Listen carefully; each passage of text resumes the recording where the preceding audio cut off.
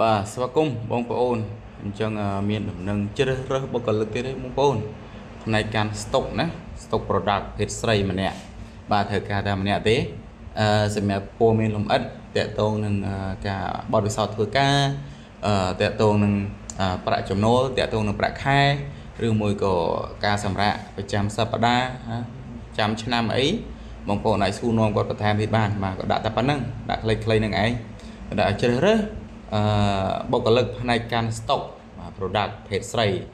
អឺកាន់ stock ទៅលើ product អីគេអត់តន់មានអត់យល់គាត់អត់បញ្ជាក់អីទាំងអស់ហ្មងគាត់ដាក់តែប៉ុណ្្នឹងបងប្អូនណាគាត់ដាក់តែរើសភេទស្រីម្នាក់អឺកាន់ stock ណាអឺបងប្អូននេះមានចំណាប់អារម្មណ៍អាចតកតងតាមលេខទូរស័ព្ទ069 85 42 34បាទអាលេខមួយខ្សែហ្នឹងបើបងប្អូនមានចម្ងល់អីតកតងសួរគាត់ផ្ទាល់ទៅបាទលេខទូរស័ព្ទក្នុងវីដេអូហ្នឹងឯងបាទអឺ ថ្មីថ្មីហ្នឹងទេបងប្អូននៅថ្ងៃទី19ខែសីហាឆ្នាំ2024ហ្នឹងឯងបងប្អូននេះមានចំណាប់អារម្មណ៍អាចតាក់ទងតាមរយៈលេខទូរស័ព្ទហ្នឹងទៅបាទអឺ